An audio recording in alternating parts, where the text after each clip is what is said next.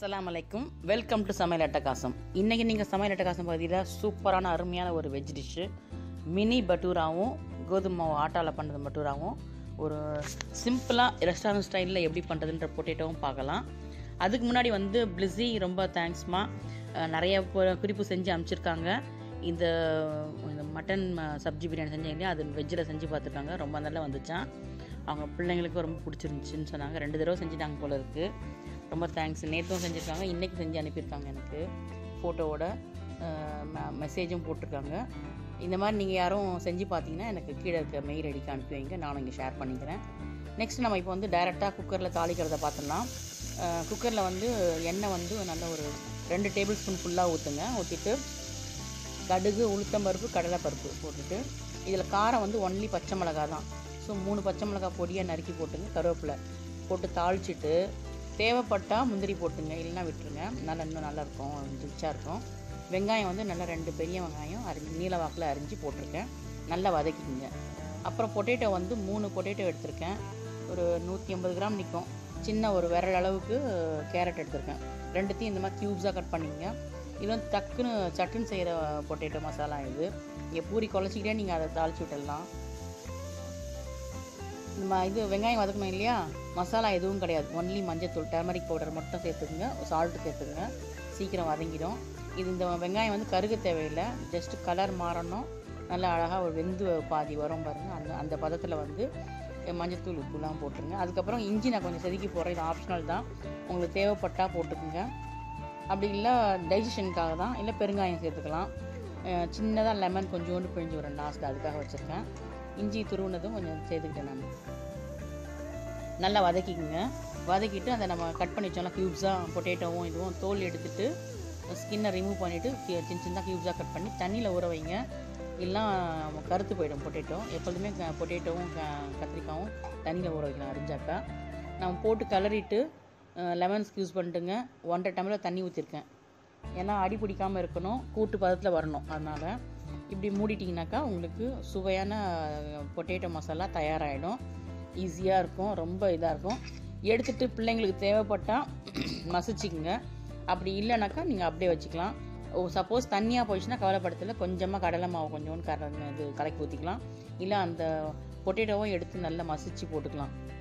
மசிச்சு விட்டால் அப்படியே நல்லா சாஃப்டாக வெந்திருக்கணும். அதுதான் பதம் அதில்.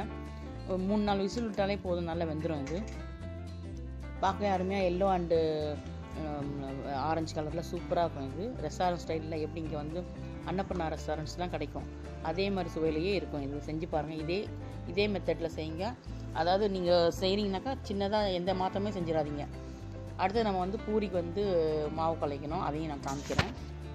பார்க்கவே நல்லா கலர்ஃபுல்லாக ரெடி ஆகிடுச்சு நெக்ஸ்ட் நம்ம பூரி மாவு கலைக்கலாம். பூரி மாவுக்கு வந்து நம்ம என்ன பண்ணலாம்? வந்து மைதாவில் தான் நம்ம வந்து பட்டூரா பண்ணுவோம். இதே பட்டூராவை வந்து நம்ம வந்து கோதுமை மாவில் எப்படி பண்ணுறதுன்னு நான் காமிக்கிறேன். இப்போ வந்து கோதுமை ஆசீர்வாத ஆட்டை தான் எடுத்திருக்கேன் நான் இப்போதைக்கு. அது அது வந்து ஒரு ஆழாக்கு ஒரு ஆழாக்குன்றது ஒரு இரநூத்தம்பது கிராம் நிற்கும் சாதாரணமாக அரிசிலாம் வந்து இரநூறு கிராம் நிற்கும் இது வந்து ஃபுல்லாக போட்டுங்க. போட்டுட்டு கொஞ்சம் இந்த அளவுக்கு ஒரு ஒரு கால் அளவுக்கு அளவு வந்து மைதா எடுத்துக்கோங்க. மைதா எடுத்துக்கிட்டு நெய் போட்டுங்க கண்டிப்பாக நெய் சேர்க்கணும். உருக்கியோ இல்லை அப்படியோ போட்டுக்கோங்க. அடுத்தது தயிர் மெயின் தயிர் நல்லா ஒரு டேபிள் ஸ்பூன் ஃபுல்லாக போடுங்க. அப்புறம் சால்ட்டு சுகரு இது அவ்வளோ சேர்த்து நல்லா குழைக்கணும். குழைக்கிறதுக்கு வந்து ஒரு ஈஸியான ஐடியா வந்து கையில் தண்ணி படாமல் இருக்கிறதுக்கு அப்படியே ஒரு ஃபோர்க் வச்சு கலரி விடுங்க. ஃபஸ்ட்டு அரை டம்ளர் தண்ணி ஊற்றுங்க அதாவது ஒரு ஆழாக்கு நான் போட்டிருக்கேன். அதுக்கு அரை டம்ளர் தண்ணி ஊற்றிருக்கேன் உப்பு வந்து முக்கால் டீஸ்பூனுக்கும் கம்மியாக கொஞ்சம் சரியாக இருக்கும். அரை டீஸ்பூன் அதிகமாட்டு ஒரு ஒரு சின்ன டீஸ்பூன் அளவு சுகர் போட்டுங்க. தயிர் ஒரு டேபிள் ஸ்பூன் போட்டு நல்லா குழைங்க. அதாவது நீங்கள் ஃபோர்க்கில் கிளறி விட்டதுனால கையில் ஒட்டலை. கையில் கொஞ்சம் எண்ணெய் போட்டுட்டா கூட இன்னும் கொஞ்சம் ஒட்டாது. ஃபோர்க்கில் கரை கிளறி விட்டதும் கரெக்டாக அப்படியே திரண்டு வந்துடும் உங்களுக்கு. அப்படியே ஒரு லேஸாக நம்ம குழச்சி எடுத்தால் போதும். குழச்சி எடுத்து மேலே கொஞ்சம் லைட்டாக மைதாவோ இல்லை ஆட்டாவோ கொஞ்சம் தூவிக்குங்க. அப்போ வந்து உங்களுக்கு தண்ணி ஆகாமல் இருக்கும்.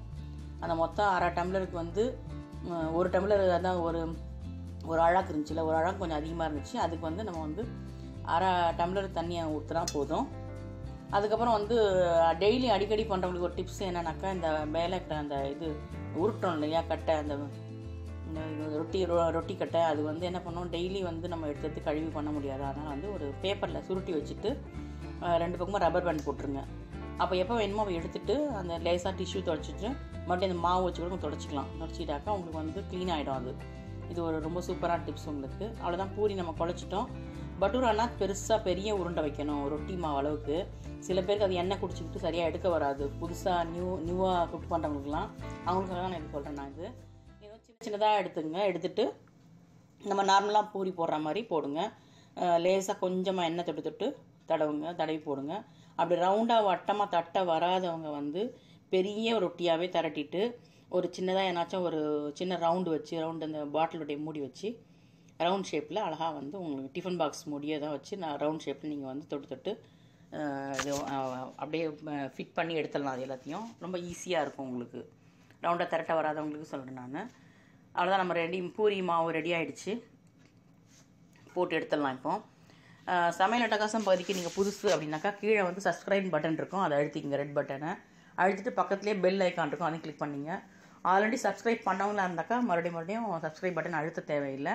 நீங்கள் வந்து கீழே இந்த குறிப்பு பிடிச்சிருந்தா லைக் பண்ணி கீழே கமெண்ட் இருக்கும் கமெண்ட் பாக்ஸில் அதுக்கு எல்லோரும் பண்ணுறாங்களா அந்த இடத்துல கமெண்ட் பண்ணிவிட்டு நீங்கள் ஜஸ்ட் உங்கள் ஃப்ரெண்ட்ஸ்க்கு உங்கள் இது ஃபேமிலிக்கெலாம் ஷேர் பண்ணால் எல்லாருக்கும் யூஸ்ஃபுல்லாக இருக்கும். புதுசாக சமைக்கிறவங்களுக்கு ரொம்ப வசதியாக இருக்கும் இது பார்த்தாங்கனாக்கா. எல்லாமே பர்ஃபெக்டாக கொடுத்துருக்கேன் அளவு. அவ்வளோதான் ரெடி ஆகிடுச்சி பூரி மாவு வந்து நம்ம தட்டிட்டோம். அடுத்தது சுட்டு எடுத்துடலாம். பூரி வந்து கடாயை வந்து நம்ம வந்து குழைக்கும் போதே வந்து எண்ணெயை காய வச்சிடணும்.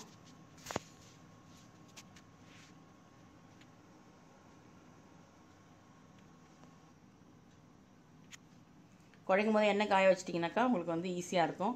திரட்டின பூரியை வந்து போட்டுட்டு ஒரு தடவை போட்டுட்டு சும்மா போட்டு போட்டு அமுக்கக்கூடாது அமுக்கினா உடஞ்சி உள்ளே எண்ணெய் போயிடும். லேசாக தான் திருப்பி போடணும் அதை. பாருங்க பொங்கி நல்லா வருது பாருங்கள்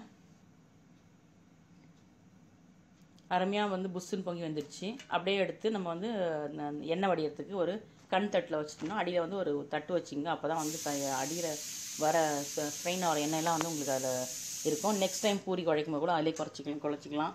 இல்லை காய் வேக வைக்கும் கூட போட்டுக்கலாம். அது எல்லா பூரிகளையும் அதே மாதிரி சுட்டலாம் நம்ம. அதாவது பெரிய பட்டூராக்கு பதிலாக இது சின்ன பட்டூரா மினி பட்டூரான்ட்டு நம்ம பசங்களுக்கு வந்து இது வந்து அப்படியே நம்ம பொட்டேட்டோ நீங்கள் வந்து இதில் நான் ரொம்ப நாளாக நான் வந்து இது லஞ்ச் பாக்ஸ் எடுத்து போயிட்டுருக்கேன். அப்படியே இருக்கும். ஒன்றுமே ஆகாது. இந்த கோதுமைன்றதுனால ஒன்றுமே ஆகாது.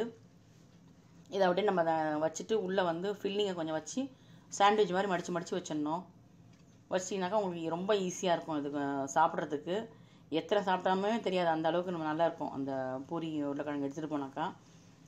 ஃபஸ்ட்டு நம்ம அந்த சவுத் இந்தியன் இதில் வந்து அந்த பூரி கிழங்கு தான் வந்து எல்லாத்துக்குமே ரொம்ப பிடிச்சது. கண்டிப்பாக இந்த குறிப்பு உங்கள் எல்லாத்துக்கும் பிடிக்கும்னு நினைக்கிறேன். இன்னும் நிறைய வெஜ் ரெசிபிலாம் நான் போடுறேன். யாருக்கும் தேவைன்னா என்ன ரெசிபி வேணும்னு சொல்லுங்கள் நானும் வந்து ஆர்டர் பண்ணி நான் வந்து என்ன முடியுதோ அதை நான் எடுத்து கொடுக்குறேன். தேங்க்ஸ் ஃபார் வாட்சிங் அப்படியே நம்ம உடையாமல் வந்து அந்த பூரியை வந்து மெதுவாக எடுத்து ஒரு பா இதில் சர்விங் பல்லில் வச்சுட்டு வச்சுட்டாக்கா நல்லது அதுக்கப்புறம் வந்து நான் இன்னொன்று மெயினாக வந்து அடிக்கடி சொல்லிட்டு இருந்தேன் முந்தி. தண்ணி வந்து நம்ம பூரிலாம் சுட்டுருக்கும் போது வந்து ரெண்டு ஹவர் கிட்ட கூட எல்லாருக்கும் சுடும் போது ரெண்டு ஹவர் கூட நிற்போம் தண்ணி குடிக்க மாட்டோம். தண்ணி வந்து அப்பப்போ பிடிச்சி வச்சு குடிச்சிங்க இடல இல்லை. அப்புறம் அப்படியே ரொம்ப ட்ரை ஆகிடும் கண்டிப்பாக தண்ணி குடிக்கிறத மறந்துடாதீங்க அது வந்து எப்படியும் ஒரு ஒரு நாளைக்கு நிறைய குடிக்கணும். தண்ணி குடிச்சிங்கனாலே அவங்க வந்து வெயிட் லாஸ்க்கு உடம்புல உள்ள இதெல்லாம் ஒரு அழுக்குகள்லாம் வந்து வெளியாகிறதுக்கு வந்து இந்த தண்ணி தான் மெயின் அதுக்கு வந்து நீங்கள் இடையில இந்த மாதிரி ரொம்ப நேரம் நின்று வேலை செய்கிற இடத்துல வந்து இந்த மாதிரி நிறையா ரொட்டி சுடும் போது நிறைய ஆப்பம் சுடும் போதுலாம் ரொம்ப நேரம் நின்றுருப்பீங்க. அப்போ இடையில தண்ணி எவ்வளோ முடியுதோ அவ்வளோ குடிச்சிக்கலாம். அப்படி இல்லைனாக்கா அதில் நீங்கள் நீங்கள் வந்து ஒரு ட்ராப் லெமனோ ஒரு சின்ன ஒரு கால் சிட்டிக்காக உப்பு போட்டு சாப்பிட்டா இன்னும் ரொம்ப நல்ல உடம்புக்கு நல்ல இது தெம்பு கிடைக்கும். தேங்க்ஸ் ஃபார் வாட்சிங் ஷேர் பண்ணுங்கள் கண்டிப்பாக பாய்